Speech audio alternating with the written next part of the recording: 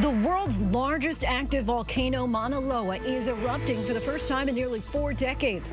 While there's no major threat to residents on Hawaii's Big Island right now, officials are urging everyone to review their emergency evacuation plans. The direction of the lava flow can quickly change, potentially putting entire communities at risk. Emotions ran high inside a Buffalo court today. The gunman accused of killing 10 people at a supermarket simply because they were black pleaded guilty to murder, attempted murder, and domestic terrorism motivated by hate.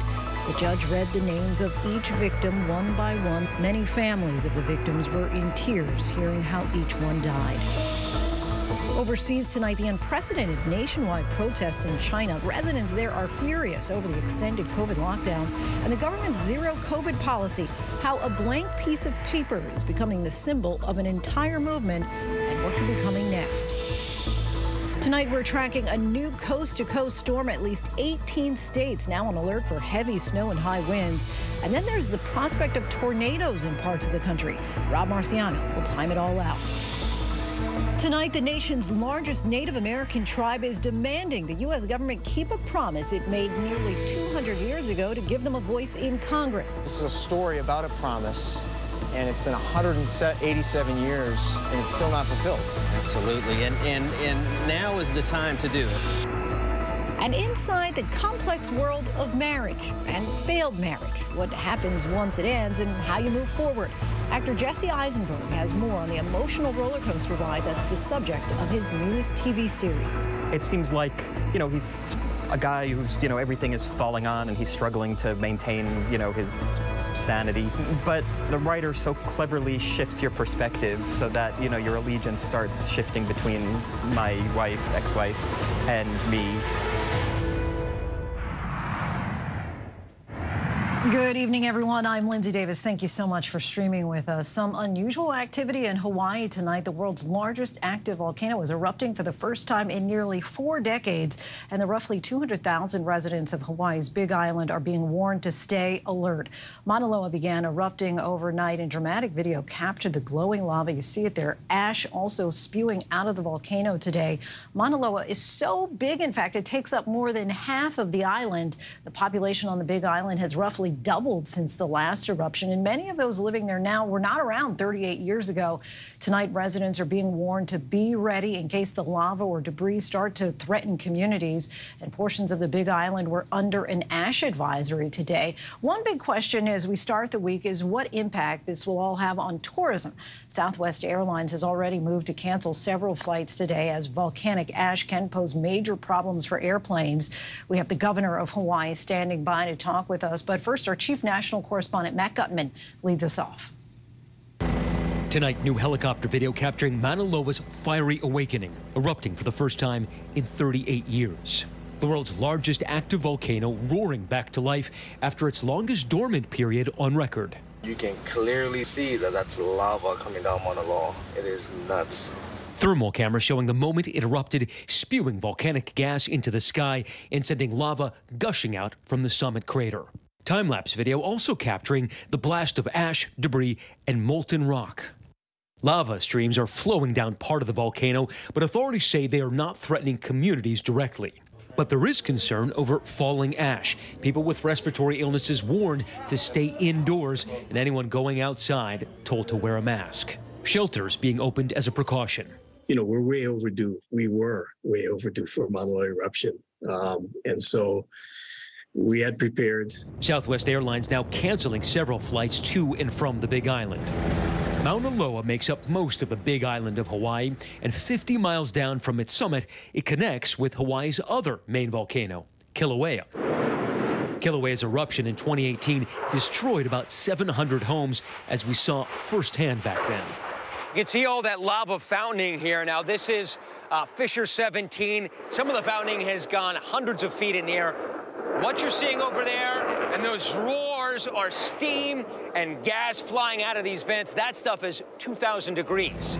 Authorities say lava from today's eruption is contained to the summit area, but alerted communities at potential risk to review their evacuation procedures.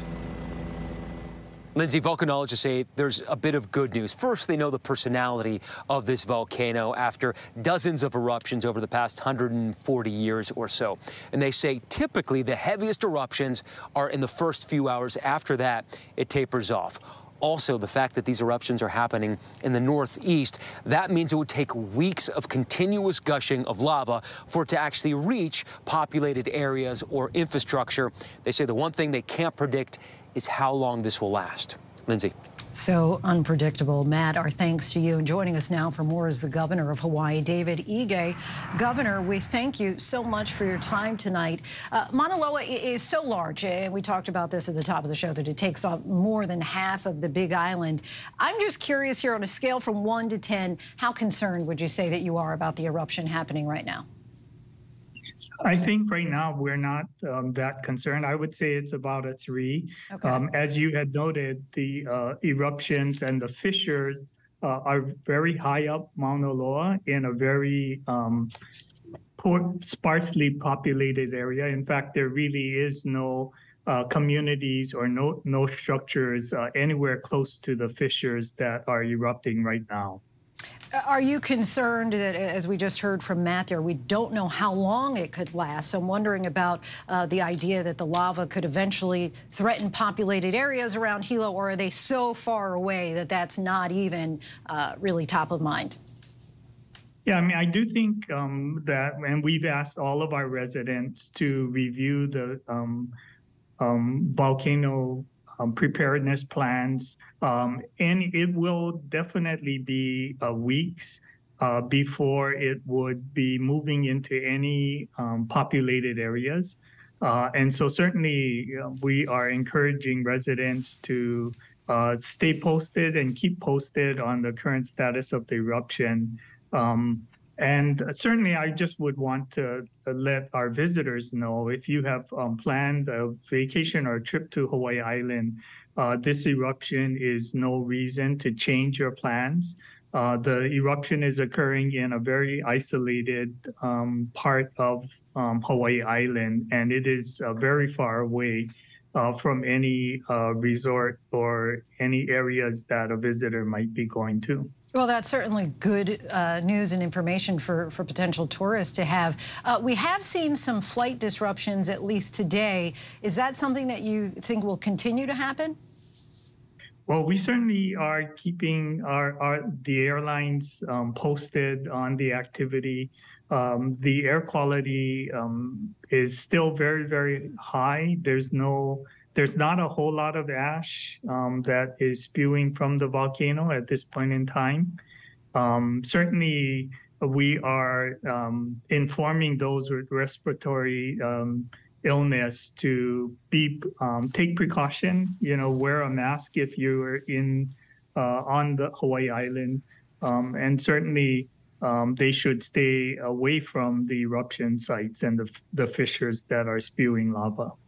Now, the last time that Mauna Loa erupted was nearly 40 years ago. I'm sure you were uh, just a young man at that time, but, but curious if you have memories of that and, and what you might be able to learn from the last time that this uh, erupted.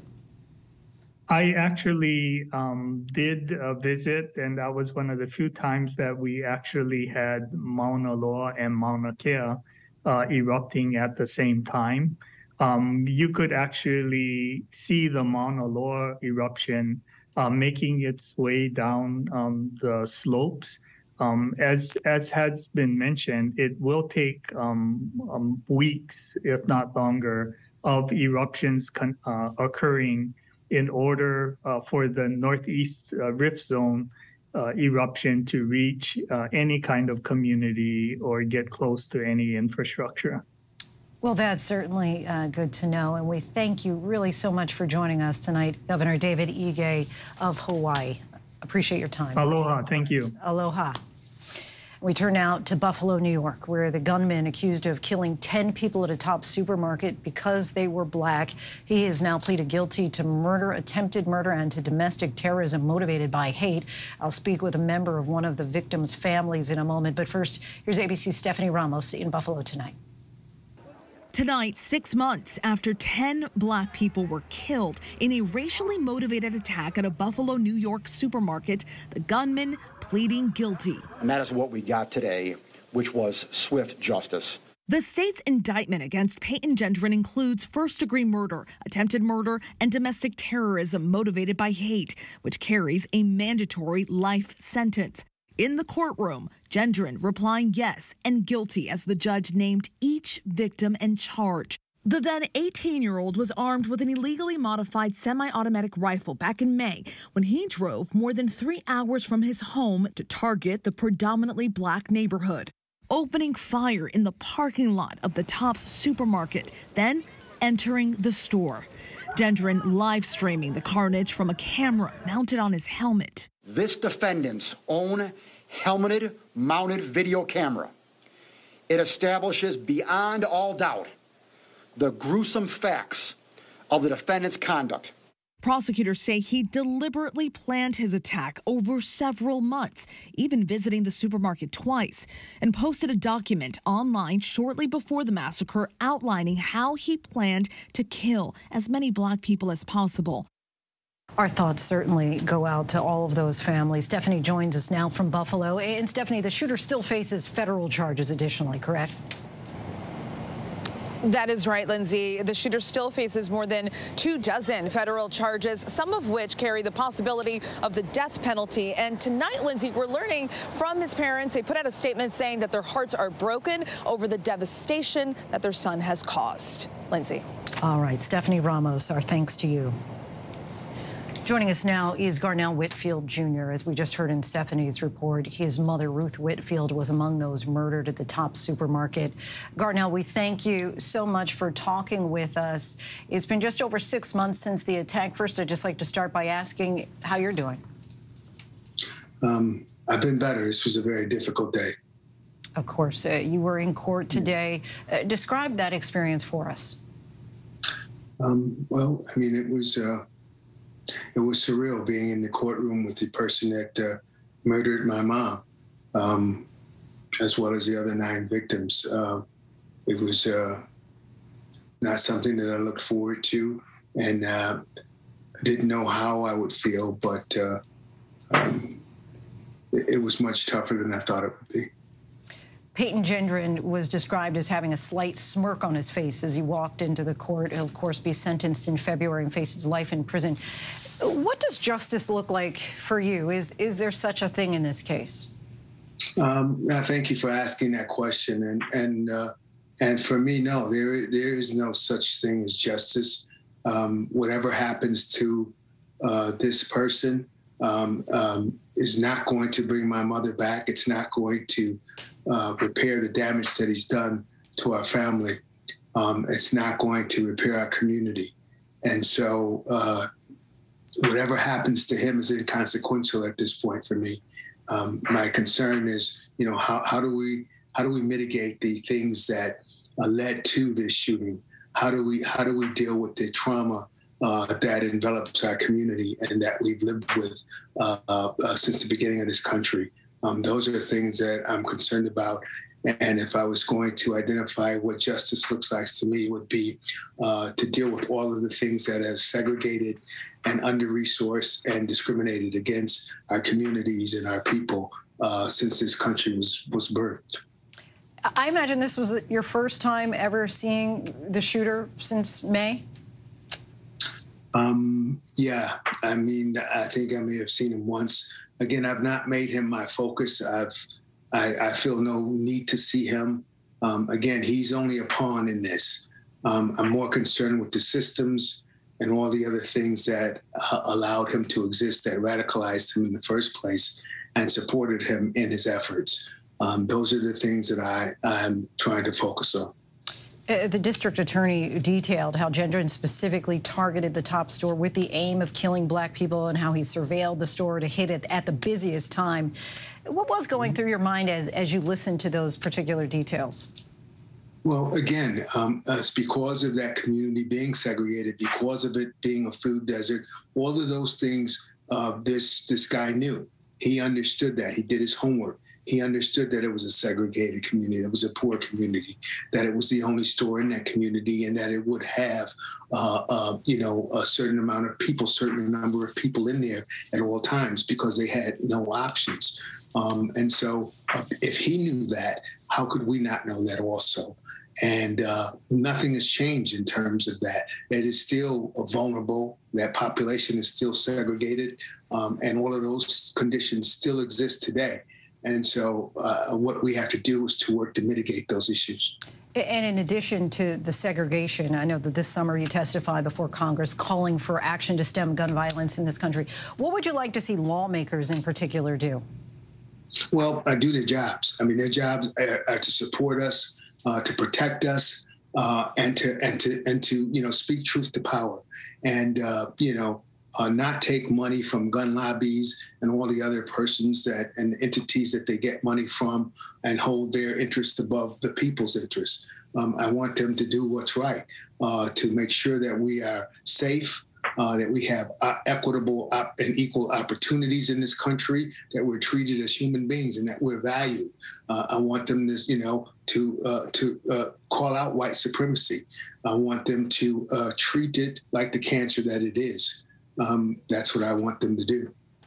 Garnell Whitfield Jr., we thank you so much for speaking with us. Really appreciate your time. Thank you for having me.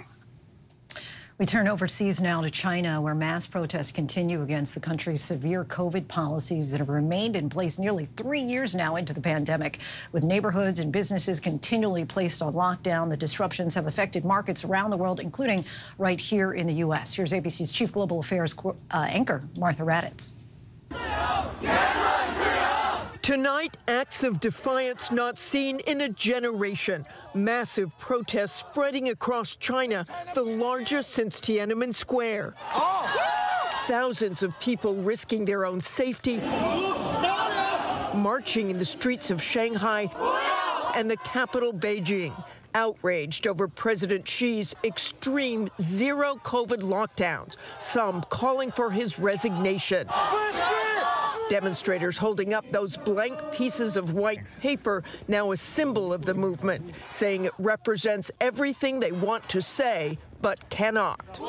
The protests erupting after this fire in the western city of Urumqi, killing 10 people, many blaming the government's strict COVID measures for the delayed response. Despite the lockdowns, COVID cases still surging in China, more than 25,000 new infections every day.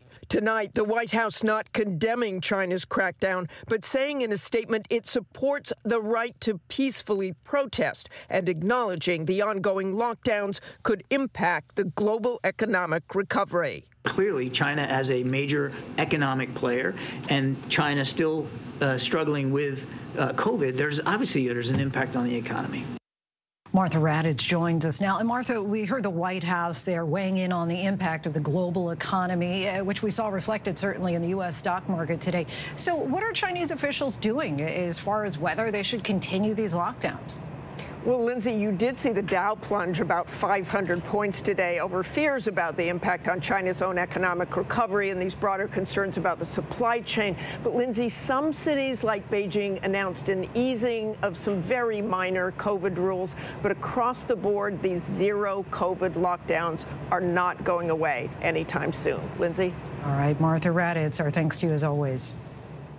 Former President Trump remained under fire tonight for having dinner at Mar-a-Lago with the rapper formerly known as Kanye West and a Holocaust-denying white nationalist. So how are Republican leaders reacting? Here's ABC's chief Washington correspondent, Jonathan Karl. Nearly a week after dining at Mar-a-Lago with Kanye West and notorious white supremacist Nick Fuentes, Donald Trump has yet to condemn the hateful views of either man. Their views are widely known. West recently said, quote, I'm going to Death Con 3 on Jewish people, And Fuentes, who took part in the racist protest in Charlottesville in 2017, denies and even mocks the Holocaust, sharing his hateful rhetoric on his online program. We need to uh, have something like a white uprising. In a series of statements since the dinner, Trump said West asked to meet with him and that it was West who brought along Fuentes. As for the dinner, Trump suggested he enjoyed it and explained why he invited West in the first place. We got along great. He expressed no anti Semitism, and I appreciated all the nice things he said about me on Tucker Carlson. Why wouldn't I agree to meet? Also, I didn't know Nick Fuentes. Three of the people at the dinner said Trump took a liking to Fuentes, one of them telling ABC that Trump said of the white supremacist, quote, he gets me.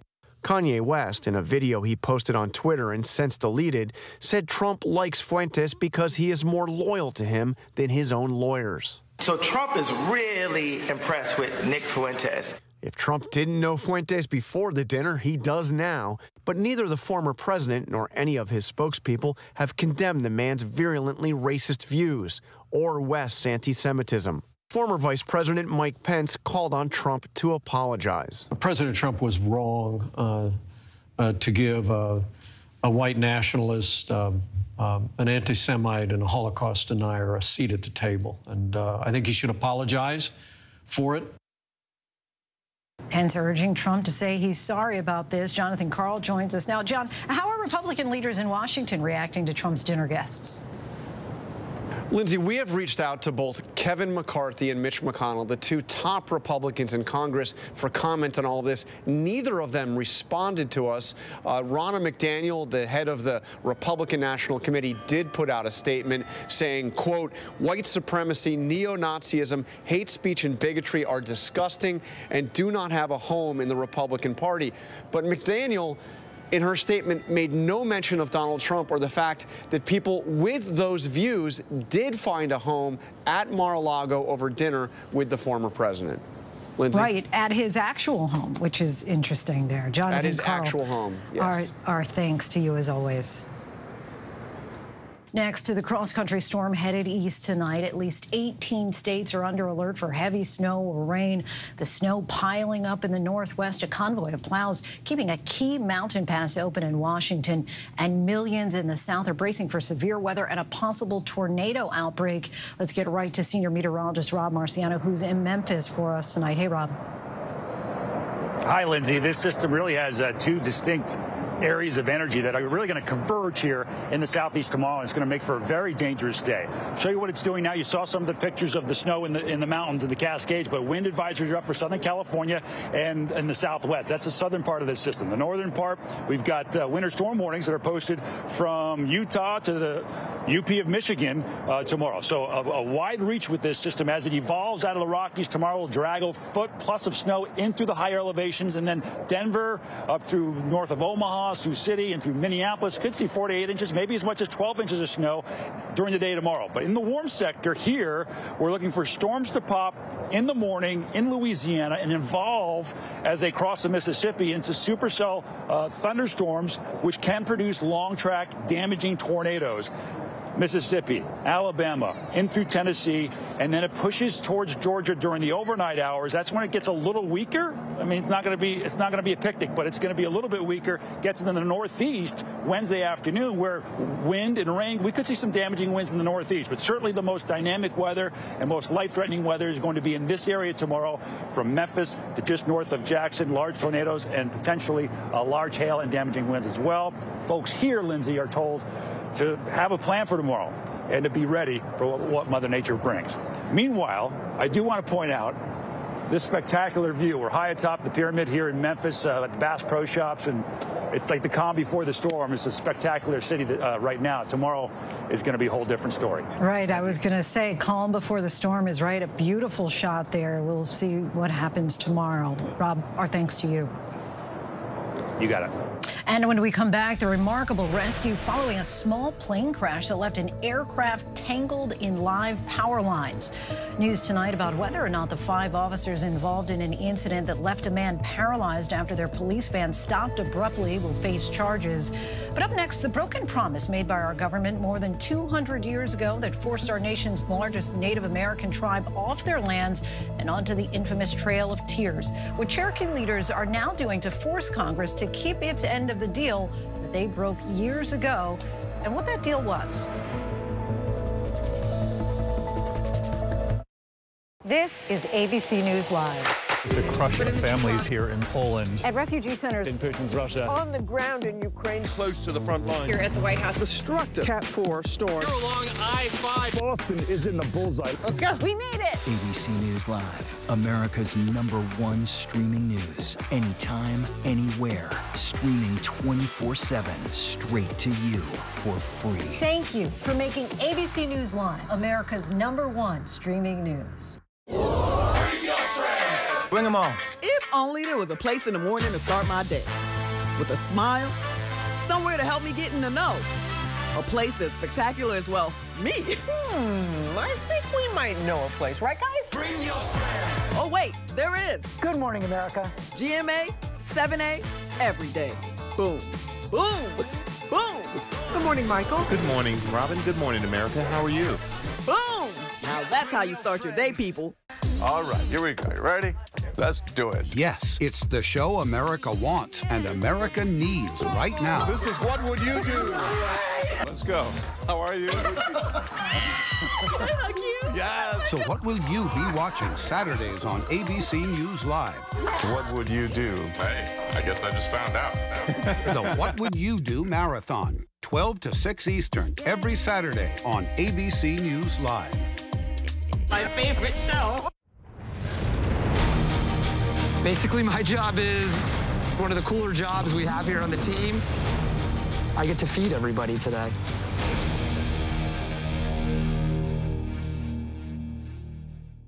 So, what's good to read? And we mean really good to read right now. Well, that's where Charlie and Kate Gibson can help. Join us for the new podcast series. It is called The Bookcase with Kate and Charlie. We will make sure you love what you read. Listen wherever you get your podcasts. With so much happening these days, it's hard to keep up. Things change hour by hour, minute by minute. The historic weather that's now unfolding. The worries on Wall Street. We're bringing you the right now. Been a nationwide teacher shortage. The right now look at the day ahead. An alert this morning for dog owners and the key takeaways from the biggest stories. World News Now and America This Morning, America's number one early morning news. Today does feel a little different. Early mornings on ABC News Live.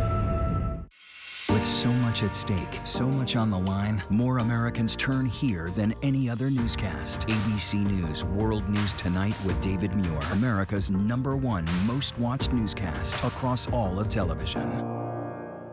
As of today, in a big way, we have inaugurated abcnews.com. A lot has changed in our world since Peter made that announcement. But what hasn't changed is the commitment to groundbreaking reporting and innovation at abcnews.com. And here's to everything ahead. Yeah, take a look at this scene from a remarkable rescue following a small plane crash in Gaithersburg, Maryland. The plane was tangled in live power lines. The pilot and passenger were trapped inside for hours, dangling above 100 feet above the ground before eventually being rescued. The crash knocked out power to about 85,000 customers.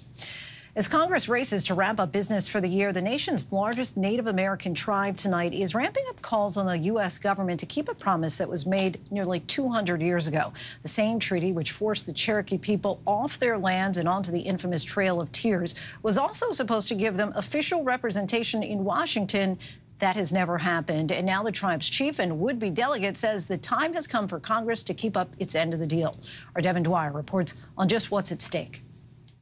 I feel like I'm in a full circle moment here because I'm representing the treaty right that they died for. Kim Teehee and Cherokee Nation Chief Chuck Hoskin are defending a deal their ancestors made with the U.S. government nearly two centuries ago.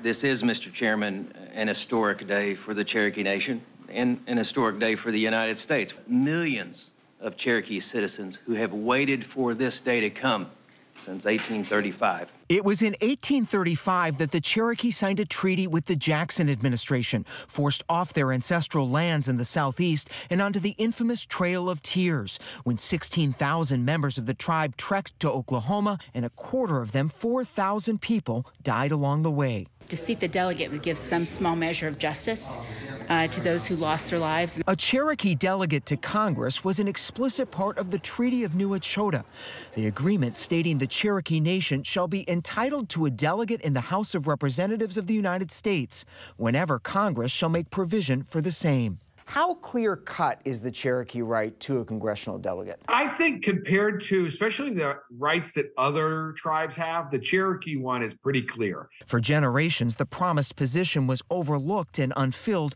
but in 2019, the tribe named Teehee, a former Obama administration advisor, to be its delegate, and Hoskin began a campaign to get her seated. I think about my grandfather a lot in this job.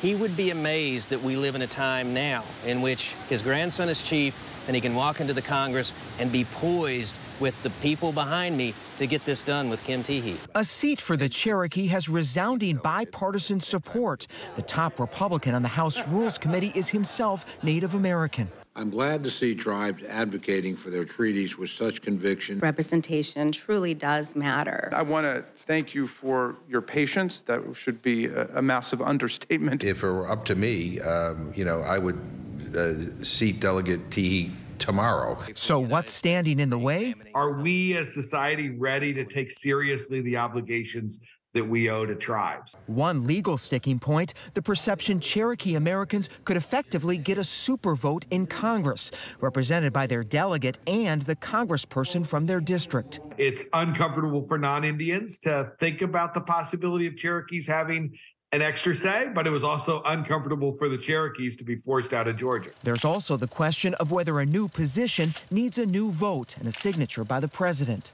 Who decides? Who's the legal umpire on this one? The courts, which I think without question would be asked to weigh in on this. Keep in mind, nearly 200 years ago, it was already ratified by the Senate and signed by the President of the United States, so it is already the supreme law of land. No more is it just okay to give us a hearing? Teehee says as Cherokee delegate, she would not get to vote on any final legislation, much like the role of the delegate from Washington, D.C. In many ways, my office parallels the offices of every other member of Congress. It's that final vote on the House floor I don't have. Eleanor Holmes Norton is one of six non voting delegates in Congress representing the Virgin Islands, Puerto Rico, American Samoa, Guam, and the Northern Mariana Islands. They're able to sit on committees, introduce legislation, and give speeches on the House floor giving voice to their people in the process. And that's why we've had nearly unanimous support throughout the country uh, from, from other Indian tribes expressing support for us. But in addition to that, uh, it'd be an opportunity for us to continue to educate uh, our, my fellow colleagues about the issues that pertain to us. When this House of Representatives seats Kim Teehee, Chief Hoskin is optimistic the Cherokee Nation is on the verge of making history. I really don't see one party standing in the way. But he concedes progress in Congress is often unpredictable and painfully slow. It sounds like a lot of lip service. Everybody's all for it, and then nothing ever happens. Well, you, you know, if you're a tribal leader and you know your history, you understand the value of patience. But I also also understand that we're talking about the Congress of the United States, a, a, a, institution in which Cherokees have often not only struck out, but been on the receiving end of a great deal of injury. In a statement, outgoing House Speaker Nancy Pelosi said the Cherokee are entitled to representation and that Democrats will continue to explore a path forward. Republican leader Kevin McCarthy did not respond to our request for comment about seating a delegate in the new Congress. Neither side ready to pledge that it will get done. This is a story about a promise, and it's been 187 years, and it's still not fulfilled. Absolutely, and, and, and now is the time to do it. I think most Americans, if they think about what makes the country great, being a country that keeps its word is, is one of those thoughts, and this is a great opportunity for the country to keep its word. Our thanks to Devin Dwyer for that. Still ahead here on Prime, jury selection begins in the high-profile case of Atatiana Jefferson, the woman who was killed inside her home by a Fort Worth police officer. Our conversation with actor Jesse Eisenberg, who has a new project on Hulu that you'll want to know about. And holiday sales are up is that a good thing? We take a look by the numbers, but first, our tweet of the day. Merriam is out with its 2022 word of the year, and we couldn't agree more gaslighting.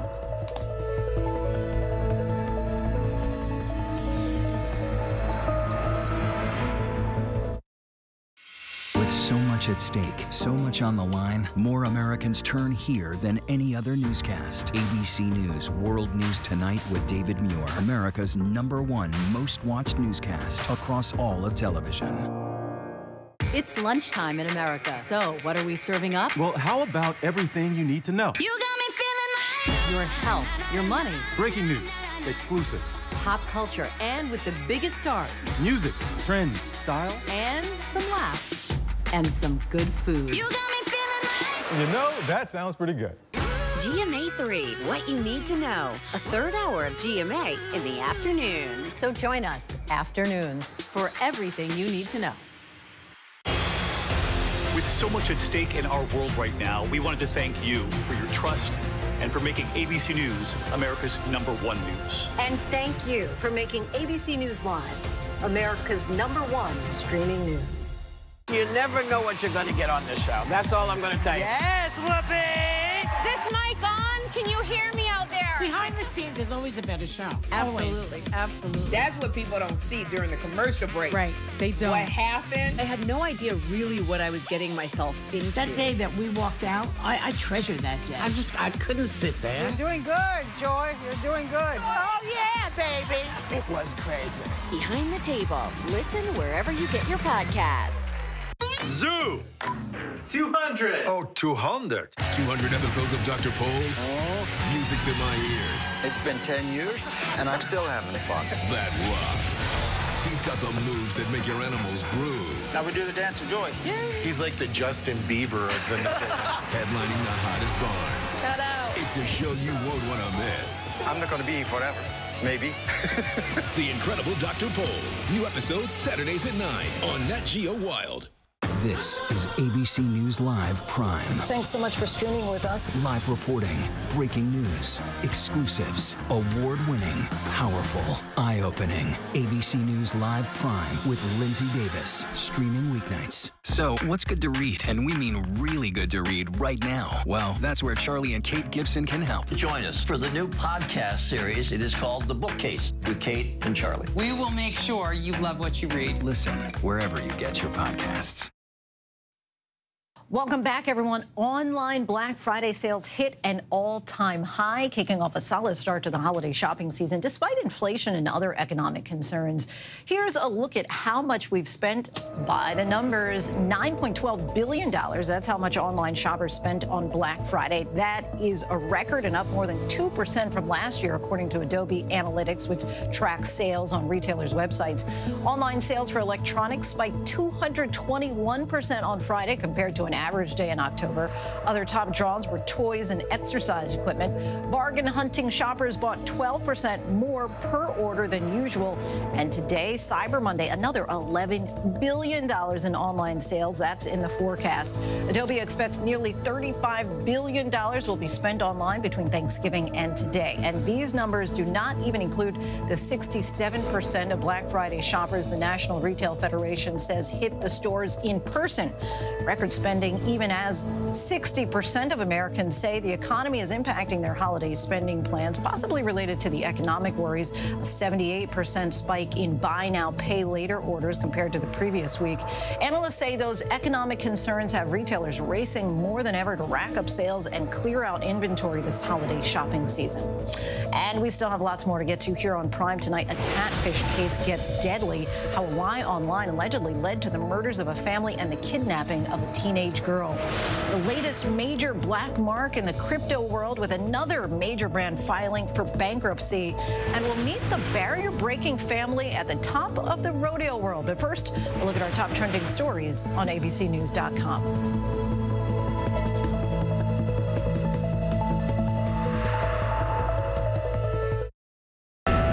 much happening these days, it's hard to keep up. Things change hour by hour, minute by minute. The historic weather that's now unfolding. The worries on Wall Street. We're bringing you the right now. Been a nationwide teacher shortage. The right now look at the day ahead. An alert this morning for dog owners and the key takeaways from the biggest stories. World News Now and America This Morning, America's number one early morning news. Today does feel a little different. Early mornings on ABC News Live. It's lunchtime in America. So, what are we serving up? Well, how about everything you need to know? You got me feeling like your health, your money, Breaking news, exclusives, pop culture, and with the biggest stars, music, trends, style. and some laughs, and some good food. You got me feeling like You know, that sounds pretty good. GMA 3, what you need to know. A third hour of GMA in the afternoon. So join us afternoons for everything you need to know. You never know what you're going to get on this show. That's all I'm going to tell you. Yes, Whoopi! This mic on? Can you hear me out there? Behind the scenes is always a better show. Absolutely, absolutely. That's what people don't see during the commercial break. Right, they don't. What happened? I had no idea really what I was getting myself into. That day that we walked out, I, I treasure that day. I just, I couldn't sit there. You're doing good, Joy. You're doing good. Oh, yeah, baby. It was crazy. Behind the table. Listen wherever you get your podcasts. Basically, my job is one of the cooler jobs we have here on the team. I get to feed everybody today.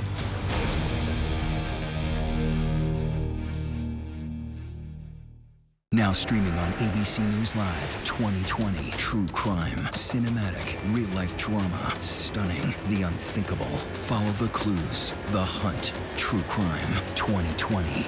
Now streaming on ABC News Live. All right, here we go. You ready? Let's do it. Yes, it's the show America wants and America needs right now. This is What Would You Do? Let's go. How are you? Yes. So, what will you be watching Saturdays on ABC News Live? What would you do? Hey, I guess I just found out. the What Would You Do Marathon, 12 to 6 Eastern, every Saturday on ABC News Live. My favorite show. Thank you.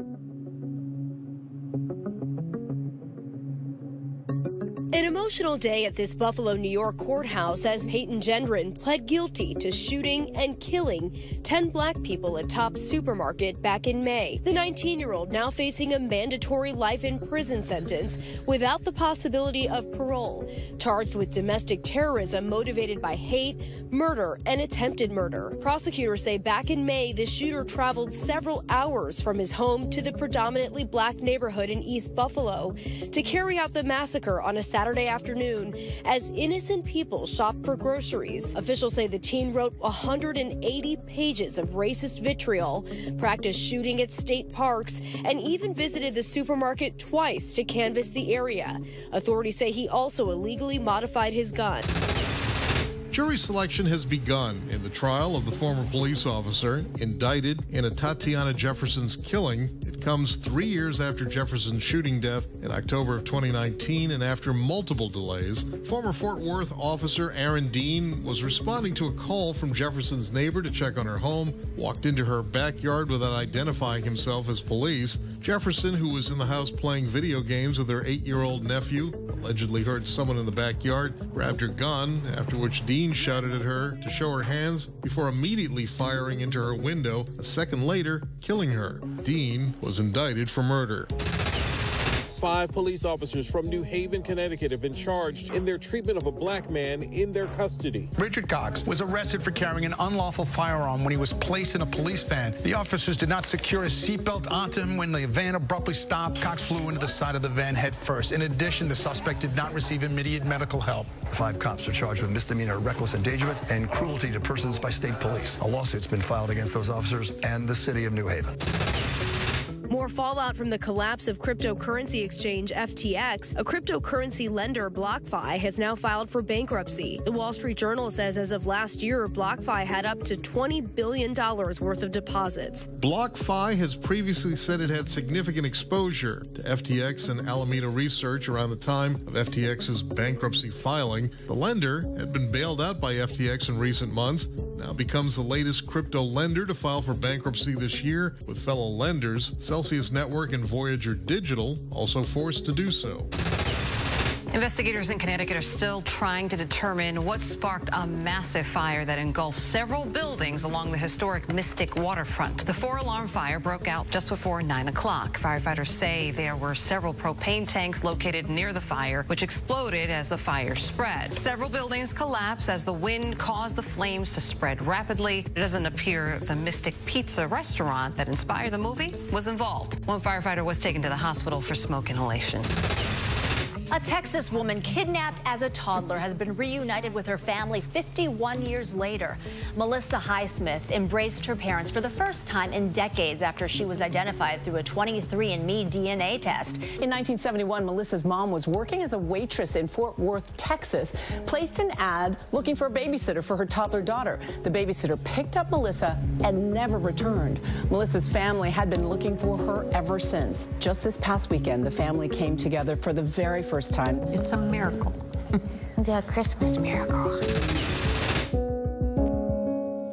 Welcome back. A former Virginia state trooper was killed in a shootout with deputies in California. The reason he is accused of driving across country to kidnap a teen, kill her family members, and then burn their home down. ABC's Chief Justice correspondent Pierre Thomas has the tragic details.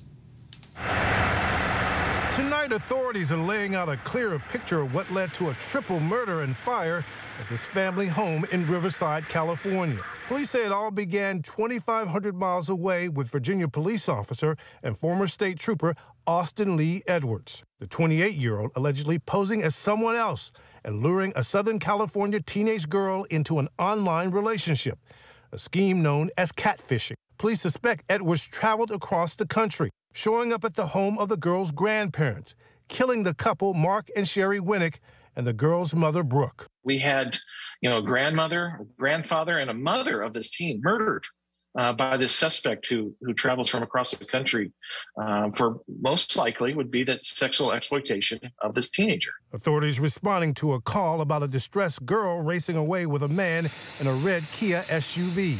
A sheriff's chopper tracking the car. Edwards allegedly leading police on a high speed chase, ending in a shootout with a police SWAT team in the Mojave Desert. The suspect killed, but the teenage girl rescued unharmed. This is just a very uh, a tragic example of how dangerous those interactions can be. Linsey, police say this is a painful reminder to parents about how they must try to be aware of who their children are communicating with online. Linsey? Pierre, thank you. Next to the remarkable return of Jay Leno onto the comedy stage just weeks after suffering devastating burns, Juju Chang has more on his comeback and what the recovery ahead looks like. We got two shows tonight, regular and extra crispy. Okay. Just two weeks after he was seriously burned by a horrific gas fire, Jay Leno returning to the stage. I got burned. I was in the hospital for a few days, and now I'm back out working again. The legendary comic performing a sold-out show at the Comedy and Magic Club in Hermosa Beach. He was just amazing. It was great. Got a standing ovation before and after. The 72-year-old even joking about the accident as part of his set. He made a few small references. Arsenio made some funny, really funny references references. Leno back in action just days after this first image of the star following the terrifying gas fire. The former Tonight Show host standing with medical staff at the Grossman Burn Center, where he was treated with hyperbaric oxygen therapy and received skin grafts. The remnants of those second and third degree burns visible on his face, chest, and hands. Leno, a longtime car enthusiast, was working on one of his vintage vehicles when a gas explosion happened earlier this month. To get some heat in her now. The former late night star revealing that a quick thinking friend most likely saved his life. A mechanic at Leno's garage telling ET about the accident. It was a, a steam car. The jet steam is made by gas and that spray and the Leno's love of collectible cars is clearly evident on his CNBC show, Jay Leno's Garage, where he's hosted prominent guests. You guys want to do this? Let's do it. Come on. All right, Mr. President. Getting back on the road this weekend, spotted with this vintage Bentley on the streets of L.A. While the comic's injuries were severe, Leno's doctor saying he is pleased with his progress. I don't want to underestimate the, the seriousness of his injuries, but I think that that positive outlook is something that's going to do well for him. Glad to see he's back at it. Our thanks to Juju. Inside the complex world of marriage and failed marriage, what happens once a union ends and the new life emerges from the old one? As part of the emotional exploration of the Hulu series, Fleishman is in trouble until the ex-wife of the lead character played by Jesse Eisenberg vanishes and things get even more complicated. It's an adaptation of the 2019 novel of the same name that keeps you guessing. Our Stephanie Ramos sat down with Eisenberg to talk about his starring role in this emotional foray into storytelling. You've reached Rachel Fleishman. Toby was forced to ask the question that occurred to him nearly every few minutes since his separation. How did I get here? I did not become a doctor to get rich, okay? I did it to live a meaningful life. Money doesn't buy you happiness. Oh, Toby, of course it does. What, are you crazy? Let's talk about Fleishman in trouble. So, okay. why is he in trouble? When the story opens, um, I have just been through like a a horrible divorce, and I'm finally kind of like learning to try to accept things and move forward in my life. And for the first time in my life, I go on these apps and I'm dating, and for the first time in my life, people like seem to be interested in me. I was with my wife for so long, and before that, I was like kind of a shy young guy. But ultimately, the story kind of, as it shifts along, you realize um, that something has happened to my wife, and that um, the story is not as simple as it seemed. This is a story about everything. It's about life and marriage and how young love can become old resentment and jealousy, ambition, career. I don't even have time to get a divorce.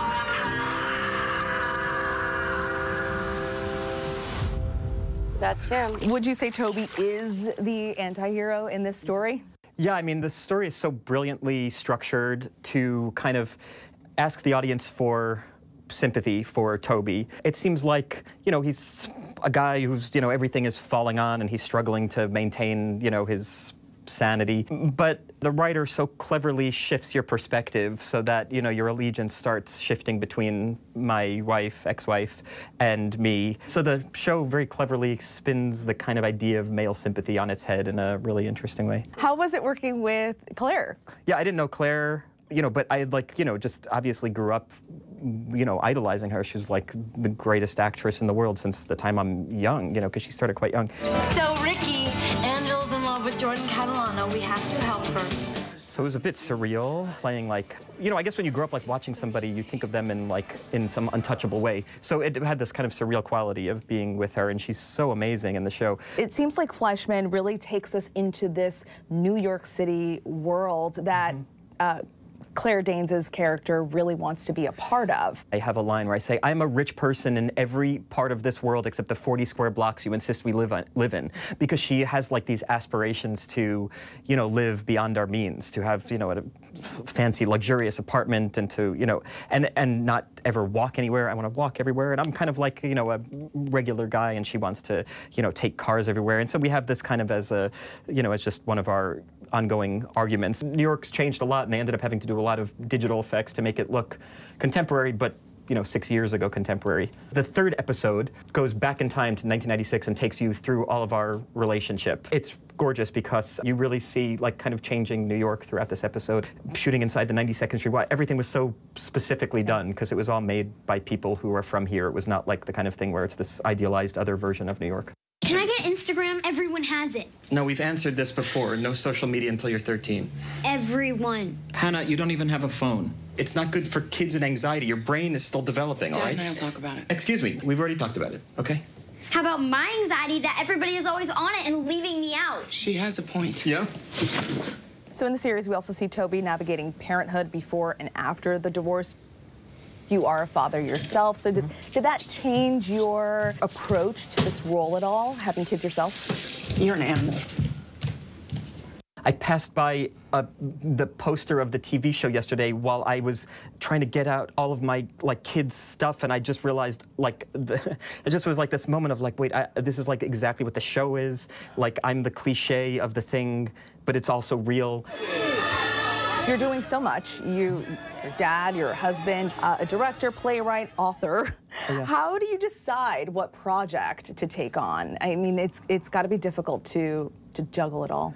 I try to do a thousand things because like 900 of them will never happen. You know, it's a career in the arts is like you're lucky if you have any job. So like I just try to stay busy. It's not like I have a normal job. I mean, every Mhm. other human being I know goes to like a normal thing where they work every day, and I just don't have that. My wife teaches in four schools in New York, so she's you know busy every day. You know, but that's like normal. No one you know pities that. So my job, it seems like it's I'm very busy because I'm on posters and it looks like I'm busy, but it's you have a lot of time off, and you know you That's go crazy if you weren't working. Mm-hmm, mm -hmm. It's like predictable unpredictability. Yes, exactly this that. job. And this will be the last question. What was Okay. it- your mo- most favorite part of working with this show and the cast, and what what are you taking away from it? I was not sure how to like modulate, um, you know, my emotions because I'm used to feeling like every day is so severe. Because in movies, you know, they're kind of a shorter, you know, it's just a shorter window of a story. So I, you asked me my favorite thing, and I ended up saying something that really stressed me out. So I would say this is, sums up my personality really well. But once again, uh, yeah, sorry for yeah turning all these nice things into misery. So that's okay. anyway, thank you very much. Thank you. Our thanks to Stephanie Ramos for that. You can stream the first three episodes of Fleishman is in Trouble on Hulu right now. And finally tonight, meet the Jackson family. Five generations of champions, and as Janai Norman shows us, born to rodeo. This rodeo family of seven is honoring the legacy of black cowboys and their own family history, collecting wins across the country. Good. Parents Corey and Robin and their fifth generation cowboy kids, Robert, Nick, Reagan, Ryan, and Dylan, make up the Jackson family rodeo crew. You should be on the outline. After homeschooling with mom, the kids practice daily with dad in preparation for rodeo competitions. Like last weekend's Bull Ride Mania Finals Championship, where 14 year old Nick won in his division. He was only seven when he got on his first bull, going on to be named the 2020 Junior World Bull Riding Champion at 13 and hoping to win again at this year's World Finals in December. Horses and everything have just flowed throughout our family. And ever since I was little, I've always been interested in rodeo. 12 year old twins, Reagan and Ryan, and 9 year old Dylan have made their own marks barrel racing and bull riding. But for the Jacksons, it's about more than taking home titles. It's a passion. It's a lifestyle. Um, it's just not something that we do. It goes well so far deep, deeper than just you know the competition. The Jacksons live in Upper Marlboro and on the same land that Robin watched her late father, Robert Harper, develop years ago. On my dad's side, back to the Reconstruction era, um, uh, my family, the men, were sharecroppers. Not until my dad did that skill change into a pleasure activity. I'm so thankful because um, all the decisions that my dad made um, early on, um, we had no idea how that was going to impact our lives today. Though 15 year old Robert doesn't compete, he's an avid rodeo fan, horse lover, and supporter of his four siblings. Robert actually didn't learn to walk until he was three. And to see him now, I think living on a farm has really helped him in his gross motor skills. He can do anything he wants to do. We can do just about anything as a family. Whatever the activity is, we're able to do it as one unit. Good. Nice story there. Thanks to Janai for that. Before we go tonight, the image of the day. Take a look at this beautiful Christmas tree as pictured in the White House Blue Room. And that is our show for this hour. Be sure to stay tuned to ABC News Live for more context and analysis of the day's top stories. Thank you so much for streaming with us.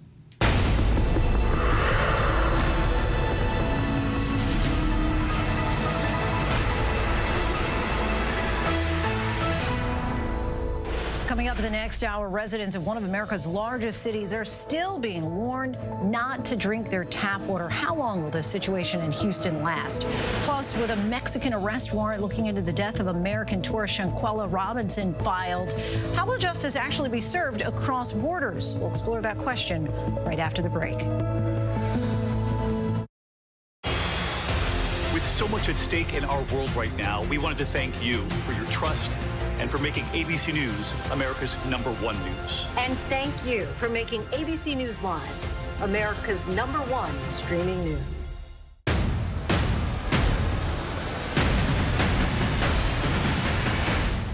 after an extraordinary news-making year, thank you for making ABC's This Week America's number one news and politics show on Sunday mornings. You never know what you're going to get on this show. That's all I'm going to tell you. Yes, Whoopi! This mic on? Can you hear me out there? Behind the scenes is always a better show. Absolutely, absolutely. That's what people don't see during the commercial break. Right, they don't. What happened? I had no idea really what I was getting myself into. That day that we walked out, I, I treasure that day. I just, I couldn't sit there. You're doing good, Joy. You're doing good. Oh, yeah, baby. It was crazy. Behind the Table. Listen wherever you get your podcasts. Hello. Tuesday night, come to laugh, feel loved, and learn the secrets of one of the most loved Christmas movies. Love actually is. And how did Hugh answer? Oh, dead. and relive the dance.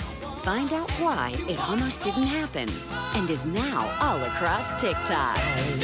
Genius. The Diane Sawyer Special, Tuesday at 8, 7 Central on ABC. It's lunchtime in America. So, what are we serving up? Well, how about everything you need to know? You got me feeling like your health, your money, Breaking news, exclusives, pop culture, and with the biggest stars, music, trends, style. and some laughs, and some good food. You got me feeling You know, that sounds pretty good. GMA 3, what you need to know. A third hour of GMA in the afternoon. So join us afternoons for everything you need to know. I'm Linsey Davis. Thanks so much for streaming with us. We're monitoring several developments here at ABC News at this hour. The Cleveland Browns have officially added Deshaun Watson to their roster, according to ESPN. Watson served an 11 game suspension for violating the league's personal conduct policy by committing sexual assault as defined by the NFL on massage therapists. He was also fined $5 million and has had to undergo a mandatory treatment program. Watson has repeatedly denied any wrongdoing. The World Health Organization has renamed monkeypox to Mpox, citing concerns that the original name could be construed as discriminatory and racist. The WHO said it was concerned by the racist and stigmatizing language that arose after the virus spread to more than 100 countries. It said numerous individuals and countries asked the organization to propose a way forward to change the name. Both monkeypox and Mpox would be used for the next year while the old name is phased out. Houston Independent School District will remain closed through tomorrow due to the boil water notice that put the city on edge. The district announced all employees will be working remotely unless otherwise instructed. The decision comes after a power outage over the weekend impacted a water treatment plant. The mayor of Houston said the incident is being investigated and apologized to the city, school, students, and parents for the cancellations. We turn now to Buffalo, New York, where the gunman accused of killing 10 people at a Tops supermarket simply because they were black. He has now pleaded guilty to murder, attempted murder, and to domestic terrorism motivated by hate. ABC's Stephanie Ramos is in Buffalo tonight with the details. Tonight, six months after 10 black people were killed in a racially motivated attack at a Buffalo, New York supermarket, the gunman pleading guilty. And that is what we got today, which was swift justice. The state's indictment against Peyton Gendron includes first degree murder, attempted murder, and domestic terrorism motivated by hate, which carries a mandatory life sentence. In the courtroom, Gendron replying yes and guilty as the judge named each victim and charge. The then 18 year old was armed with an illegally modified semi automatic rifle back in May when he drove more than three hours from his home to target the predominantly black neighborhood, opening fire in the parking lot of the Tops supermarket, then entering the store. Gendron live streaming the carnage from a camera mounted on his helmet. This defendant's own helmeted, mounted video camera. It establishes beyond all doubt the gruesome facts of the defendant's conduct. Prosecutors say he deliberately planned his attack over several months, even visiting the supermarket twice, and posted a document online shortly before the massacre outlining how he planned to kill as many black people as possible. Tonight, his guilty plea little solace for the families of the victims, including Garnell Whitfield, who lost his 86 year old mother, Ruth. To hear how she died and to just imagine what she faced in that moment, having lived the life that she lived. Um, it's just tough to take. Our hearts and thoughts go out to all of those families. Our thanks to Stephanie Ramos. Now to some unusual activity in Hawaii tonight. The world's largest active volcano is erupting for the first time in nearly four decades, and the roughly 200,000 residents of Hawaii's Big Island are being warned to stay alert. Our chief national correspondent Matt Gutman reports. Tonight, new helicopter video capturing Mauna Loa's fiery awakening, erupting for the first time in 38 years the world's largest active volcano roaring back to life after its longest dormant period on record. You can clearly see that that's lava coming down Mauna Loa. It is nuts. Thermal cameras showing the moment it erupted, spewing volcanic gas into the sky and sending lava gushing out from the summit crater. Time lapse video also capturing the blast of ash, debris, and molten rock. Lava streams are flowing down part of the volcano, but authorities say they are not threatening communities directly. But there is concern over falling ash. People with respiratory illnesses warned to stay indoors, and anyone going outside told to wear a mask. Shelters being opened as a precaution. You know, we're way overdue. We were way overdue for a Loa eruption. Um, and so we had prepared. Southwest Airlines now canceling several flights to and from the Big Island. Mauna Loa makes up most of the big island of Hawaii, and 50 miles down from its summit, it connects with Hawaii's other main volcano, Kilauea. Kilauea's eruption in 2018 destroyed about 700 homes, as we saw firsthand back then. You can see all that lava fountaining here. Now, this is uh, Fissure 17. Some of the fountaining has gone hundreds of feet in the air. What you're seeing over there and those roars are steam and gas flying out of these vents. That stuff is 2,000 degrees.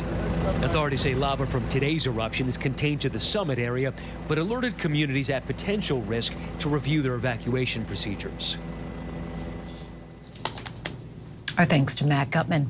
Former President Trump is under fire tonight for having dinner at Mar-a-Lago with the rapper formerly known as Kanye West and a Holocaust-denying white nationalist. So how are Republican leaders reacting? Here's ABC's chief Washington correspondent, Jonathan Karl. Nearly a week after dining at Mar-a-Lago with Kanye West and notorious white supremacist Nick Fuentes, Donald Trump has yet to condemn the hateful views of either man. Their views are widely known. West recently said, quote, I'm going to DEath Con 3 on Jewish people. And Fuentes, who took part in the racist protest in Charlottesville in 2017, denies and even mocks the Holocaust, sharing his hateful rhetoric on his online program. We need to uh, have something like a white uprising. In a series of statements since the dinner, Trump said West asked to meet with him and that it was West who brought along Fuentes. As for the dinner, Trump suggested he enjoyed it and explained why he invited West in the first place. We got along great. He expressed no anti Semitism, and I appreciated all the nice things he said about me on Tucker Carlson. Why wouldn't I agree to meet? Also, I didn't know Nick Fuentes. Three of the people at the dinner said Trump took a liking to Fuentes, one of them telling ABC that Trump said of the white supremacist, quote, he gets me. Kanye West, in a video he posted on Twitter and since deleted, said Trump likes Fuentes because he is more loyal to him than his own lawyers. So Trump is really impressed with Nick Fuentes. If Trump didn't know Fuentes before the dinner, he does now. But neither the former president nor any of his spokespeople have condemned the man's virulently racist views or West's anti Semitism. Former Vice President Mike Pence called on Trump to apologize. President Trump was wrong uh, uh, to give a white nationalist, um, an anti Semite, and a Holocaust denier a seat at the table. And uh, I think he should apologize for it. Pence urging Trump to say he's sorry about this. Jonathan Karl joins us now. John, how are Republican leaders in Washington reacting to Trump's dinner guests? Linsey, we have reached out to both Kevin McCarthy and Mitch McConnell, the two top Republicans in Congress, for comment on all this. Neither of them responded to us. Uh, Ronna McDaniel, the head of the Republican National Committee, did put out a statement saying, quote, white supremacy, neo-Nazism, hate speech, and bigotry are disgusting and do not have a home in the Republican Party. But McDaniel in her statement made no mention of Donald Trump or the fact that people with those views did find a home at Mar-a-Lago over dinner with the former president. Linsey? Right, at his actual home, which is interesting there. Jonathan At his Karl, actual home, yes. Our, our thanks to you as always. Thank you. Next to the cross country storm headed east tonight, at least 18 states are under alert for heavy snow or rain. The snow piling up in the northwest, a convoy of plows keeping a key mountain pass open in Washington, and millions in the south are bracing for severe weather and a possible tornado outbreak. Let's get right to senior meteorologist Rob Marciano, who's in Memphis for us tonight. Hey, Rob. Hi, Linsey. This system really has uh, two distinct areas of energy that are really going to converge here in the southeast tomorrow. And it's going to make for a very dangerous day. Show you what it's doing now. You saw some of the pictures of the snow in the in the mountains and the Cascades, but wind advisories are up for Southern California and in the southwest. That's the southern part of this system. The northern part, we've got uh, winter storm warnings that are posted from Utah to the UP of Michigan uh, tomorrow. So a, a, wide reach with this system as it evolves out of the Rockies tomorrow. Will drag a foot plus of snow in through the higher elevations, and then Denver up through north of Omaha Sioux City and through Minneapolis could see 48 inches, maybe as much as 12 inches of snow during the day tomorrow. But in the warm sector here, we're looking for storms to pop in the morning in Louisiana and evolve as they cross the Mississippi into supercell uh, thunderstorms, which can produce long track damaging tornadoes. Mississippi, Alabama, in through Tennessee, and then it pushes towards Georgia during the overnight hours. That's when it gets a little weaker. I mean, it's not going to be it's not going to be a picnic, but it's going to be a little bit weaker. Gets in the northeast Wednesday afternoon, where wind and rain. We could see some damaging winds in the northeast, but certainly the most dynamic weather and most life-threatening weather is going to be in this area tomorrow, from Memphis to just north of Jackson. Large tornadoes and potentially a large hail and damaging winds as well. Folks here, Linsey, are told to have a plan for tomorrow and to be ready for what Mother Nature brings. Meanwhile, I do want to point out this spectacular view. We're high atop the pyramid here in Memphis uh, at the Bass Pro Shops, and it's like the calm before the storm. It's a spectacular city that, uh, right now. Tomorrow is going to be a whole different story. Right. I was going to say, calm before the storm is right. A beautiful shot there. We'll see what happens tomorrow. Rob, our thanks to you. You got it. We turn now to a remarkable rescue following a small plane crash in Gaithersburg, Maryland. The plane was tangled in live power lines with the pilot and passenger trapped inside for hours, dangling about 100 feet above the ground before eventually being rescued. Here's ABC's Gio Benitez. Tonight, this terrifying scene playing out nearly 100 feet in the air.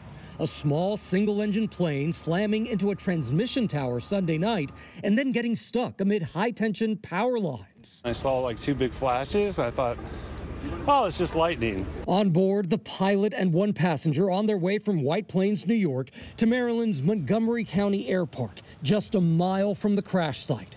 The pilot's hand seen gripping the window frame of the dangling aircraft. We took very deliberate and time consuming steps to effect the rescue and the uh, removal of those two folks. The crash temporarily shutting down power to nearly 120,000 customers and forcing the state's largest school district to cancel classes today. Rescuers spending over seven hours meticulously working to secure the aircraft and then bring it down. They stabilized the plane by the crane, then segmented the plane and the engine from as two pieces Linsey, one person is still in the hospital, and the NTSB is investigating to figure out how this happened. They're looking very closely at last night's rain and fog. Linsey? All right, Gio, thank you. Now to the investigation into the death of an American tourist, Shanquella Robinson, in Mexico. An arrest warrant has been issued, and now there are questions about how justice will work across borders. ABC's Matt Rivers has more from Mexico City. Mexican authorities say they believe 25 year old U.S. citizen Shanquella Robinson was killed by an acquaintance, another American woman, while on vacation in Los Cabos. Robinson was found dead at a luxury resort in late October, traveling with a group of friends whose actions immediately became suspicious. In one now viral video, too violent to show, Robinson is seen being severely beaten by another woman in her hotel room, while at least two people in the room watch or record the incident. In another, someone films Robinson taking a nap the day before she was killed. Buddy, buddy, buddy, buddy. A police report from the day she died says guests at the resort called for medical help, claiming she had drunk a lot of alcohol. A doctor said she was, quote, stable but dehydrated, adding that the guests refused to bring her to a hospital. The police report said she went into cardiac arrest and was declared dead at 6 p.m. But an autopsy obtained by ABC News contradicted that report saying she was declared dead three hours earlier, suffering from a severe spinal cord injury and a dislocated neck. they attacked her and it was nothing she could do, and all she could say is no. She wasn't a fighter, no way. She has a good heart. Mexican authorities now saying the prime suspect in the case back in the United States. The fact that the person accused is an American citizen fundamentally changes all of the evaluation here. Mexican prosecutors filing charges for femicide, which means they believe Robinson was killed at least in part because of her gender. Mexico is asking the U.S. to extradite the suspect to face charges in Mexico. The Department of Justice will have to evaluate any evidence.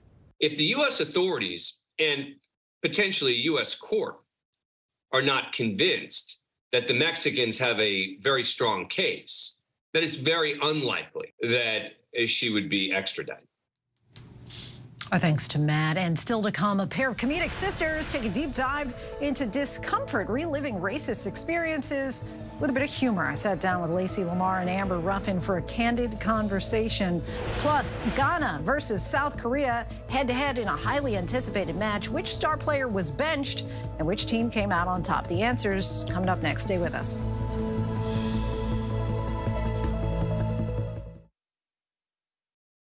This is ABC News Live. The crush of families here in Poland. At refugee centers. In Putin's Russia. On the ground in Ukraine. Close to the front line. Here at the White House. Destructive Cat 4 storm. Here along I-5. Boston is in the bullseye. Let's go. We made it. ABC News Live. America's number one streaming news. Anytime, anywhere. Streaming 24-7. Straight to you for free. Thank you for making ABC News Live America's number one streaming news. Bring them on. If only there was a place in the morning to start my day. With a smile, somewhere to help me get in the know. A place as spectacular as, well, me. Hmm, I think we might know a place, right, guys? Bring your friends. Oh, wait, there is. Good morning, America. GMA, 7A, every day. Boom, boom, boom. Good morning, Michael. Good morning, Robin. Good morning, America. How are you? Boom! Now that's how you start your day, people. All right, here we go. You ready? Let's do it. Yes, it's the show America wants and America needs right now. This is What Would You Do? Let's go. How are you? Yeah. So what will you be watching Saturdays on ABC News Live? What would you do? Hey, I guess I just found out. the What Would You Do Marathon, 12 to 6 Eastern, every Saturday on ABC News Live. My favorite show. As of today, in a big way, we have inaugurated abcnews.com. A lot has changed in our world since Peter made that announcement. But what hasn't changed is the commitment to groundbreaking reporting and innovation at abcnews.com. And here's to everything ahead. Now streaming on ABC News Live 2020. True crime, cinematic, real life drama, stunning, the unthinkable. Follow the clues. The Hunt. True crime 2020. Now streaming on ABC News Live. Welcome back, everyone. We're tracking several headlines around the world. Days of turmoil and protests in China over stringent COVID restrictions flared in several cities. Protesters chanted against masks and COVID tests, demanding freedom. The White House also criticized China's COVID containment strategy and argued that people have a right to peacefully protest. Tensions rose when Mexican police dismantled a migrant camp set up on the Mexican side of the border. Officers forced resisting migrants out, facing off against them and pulling tents away. Some tents caught fire with police officers pushing them into the nearby river to douse the flames. An evicted migrant from Venezuela told Reuters he didn't want to leave the camp in front of the border wall as it was a way to put pressure on the U.S. authorities to allow them to enter the country. And in today's World Cup wrap-up, Ghana won over South Korea 3-2 in a high-intensity match. And then Brazil managed to beat Switzerland 1-0 without their star Neymar after an injury has sidelined him. And Portugal cruised to win over Uruguay 1 to 0. Turning now to the World Record Book of Racist Stories. Yes, that is actually the name of the book. Sisters Lacey Lamar and Amber Ruffin recall their memories of racism and what they call 50-50 of silly and scary stories. Amber, who is the comedian and host of the Amber Ruffin Show, is also the first black woman in history to ever write for late night television on Late Night with Seth Meyers. Duo's first book, You'll Never Believe What Happened to Lacey, details all the racist situations that Lacey's been in. Now the sisters dive into their own experiences with racism racism and also through the perspectives of family and friends. Days ago, I had a chance to sit down with the two to talk about their book of racist stories. Why a book number two? Why wasn't the first book of racist stories sufficient? we had great stories that we wanted to put in the first one and we didn't. And now we're like, let's do it. And I still live in Omaha, Nebraska, and these too many wild, hilarious things were happening to me. And I was like, this, we need another book. Plus, we wanted to add our family and people in the community like your friends, your friend MB, yeah. right? And and I kind of was struck by this, right? Because you have this part in the book where you talk about how your good friend who's white, you say you guys love to trade opposite stories, stories where I'm suffering some racist nonsense and she's getting away with everything but murder. Is there a point where you think this isn't funny, or are you able to just laugh at the difference? Um, it's almost always funny because I'm not learning anything new. I'm, I, you know, it's the world that I've always lived in. now there are words to it. But it's only just a specificity in a large thing that I already know to be true. And that, you know, to me makes it hilarious. Sometimes we're not trying to say this story is funny. Sometimes we're trying to say, look at white privilege and look at, just look at racism in itself. Just look at it. It's still happening parts of it might be funny, but this stuff is true and it's happening yep. every day. And another part that, that struck me, you talk about um, a scenario where you're in a store and all of a sudden, you know, the security guard starts following you and you're like, well, nothing unusual there, right? I mean, there's kind of almost an expectation, but then it's like there's six people in the store. This is so ridiculous, it's funny. But is there an underlying sadness? Yeah. Um, yes. I mean, sure. I don't know. I don't feel that way because that's just what it is, right? It, it, you know, I, I'm having trouble thinking of a comparison, but it's like, oh, this is a horrible one. But like, we all get a period. It's horrible. It's horrible. So it's but just it's part of life. It's, it's just, just a rite of passage. Yeah. And that in itself is sad. See how we laugh. We're terrible. We laugh at everything. We do laugh. We, we laugh, laugh, at everything. And that does, right? Laugh to keep from crying yep. in a way. Um, and I'm curious, so obviously you live in Omaha, Nebraska. Mm-hmm. You live in New York City. How is racism different and, and the microaggressions and the passes and racism from the Midwest to the East Coast? Here, it's good. There, it's, it's more in your face in Omaha to the point when it does happen. I think Amber sometimes doesn't even. She's like, "Did that just happen?" I'm like, "Yep, it happened. Let's keep keep walking." Like, yes. When she goes to visit. When she you. comes to visit, and when I'm in Ne- Nebraska, when I'm in New York, I feel free, and I joke with her. I'm like, "I'm free. Yeah. I'm running down the street. I'm in the store. I'm picking this up. No one's staring." I mean, and of course, we're not saying that there's no racism in New York. We're not saying that, but it is a it is a shift. It is totally different when I'm walking down the street, when I'm I walk into a building, I don't feel that everybody's looking at you. You're the only person. chip in that cookie. Yes. And when you are writing these books, who is your audience? Like our audience is always us or the people most like us. Like when you're writing, like some of the book is, um, hey, look at this stuff. This stuff happens all the time can you believe it? Here's a fun way to handle it. I think the audience is always black people. Because black people need to hear, hey, this has happened to me, and when it happens to you, here's an option. You're not alone. But and I and I also say that I have had so many white people come up to me and say, I, I, read your book, I love it, and oh my God, I do this. And so that's the one little part that I like. Because you dedicate the book to your family and friends and jokingly to all white people. But really, it seems that white people are picking up the book, right? Yeah, and no, they are. And are black people picking it up because they say, I want to commiserate on this, or because I'm wondering if people are like, I don't need to read about it. I live it every day. I see this. This is my experience. They're like, I love it. That happened to me at work yesterday. This is happening now and maybe I'm going to say something now. Also, sometimes black people are like, I read this book and frankly, I couldn't believe it. Is it cathartic to actually write about the stories, to write out the experiences? Yeah. It's fun to tell, not oh, lies. Well, I mean, some of the stories are fun to tell, but it's great to tell. It's like, I'm getting these out of here. I'm getting them off my chest. I'm putting some people on, you know, they need to know that this happened and they did that and it does it does feel good to tell. You obviously get to write about, you know, real life and make it funny every day.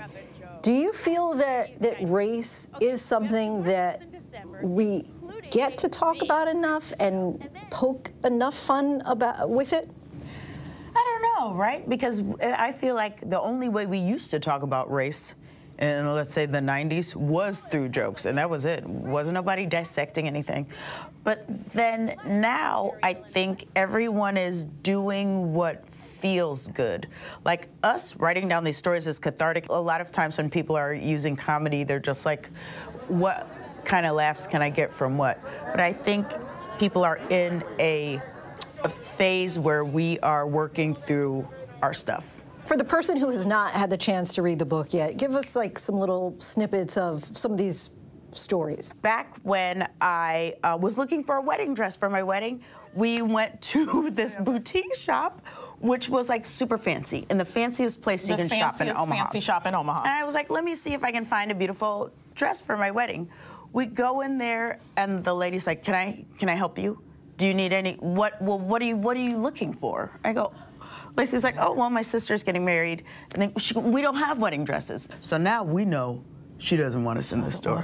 So we both take out our little brown hands and we get to touching. And we mm-hmm. touch every dress. Every- but she also tells Amber, then she tries to convince Amber not to get married. She goes, and weddings are overrated. Weddings are overrated. What, what, what, he- she tried to unsell us a dress. Amber and Lacey's book, The World Record Book of Racist Stories, is now available wherever books are sold. And still to come, a music and movie icon of the 80s, we remember the life and legacy of Irene Cara.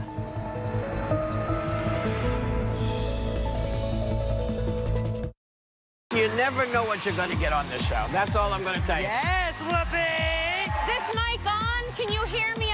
Behind the scenes is always a better show. Absolutely, absolutely. That's what people don't see during the commercial break. Right, they don't. What happened? I had no idea really what I was getting myself into. That day that we walked out, I, I treasure that day. I just, I couldn't sit there. You're doing good, Joy. You're doing good. Oh, yeah, baby. It was crazy. Behind the Table. Listen wherever you get your podcasts. With so much at stake, so much on the line, more Americans turn here than any place else. ABC News World News Tonight with David Muir, America's number one most watched newscast, now streaming on ABC News Live.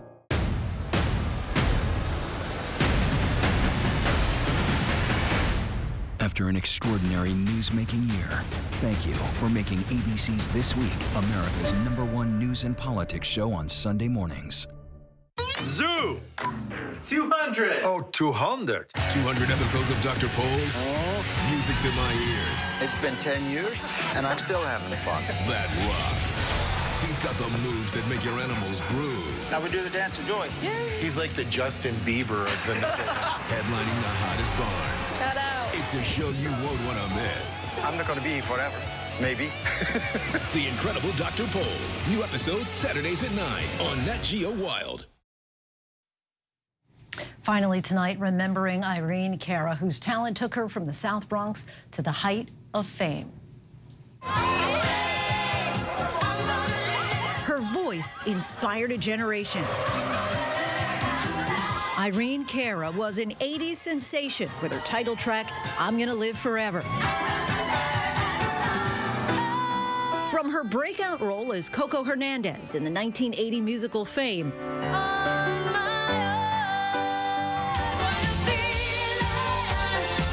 She would go on to co-write and perform the title song to the hit movie Flashdance. That song, What a Feeling, was a smash success. Here she is in 1984 at the Oscars, winning for Best Original Song. She also won two Grammys and a Golden Globe for the same song, which is still on Billboard's top 100 hot songs of all time. She was born Irene Escalera in New York City, where she began her career as a child star. A regular on the children's show The Electric Company. As a teenager, she played the title role in the 1976 musical Sparkle, about three sisters forming a singing group. The movie Fame went on to become a popular TV series for six seasons.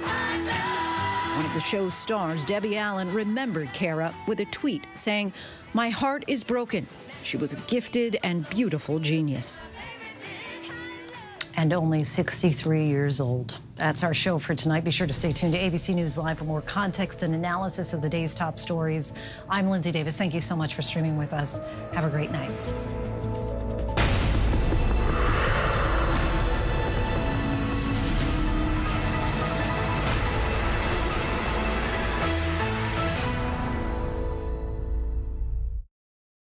It's lunchtime in America. So, what are we serving up? Well, how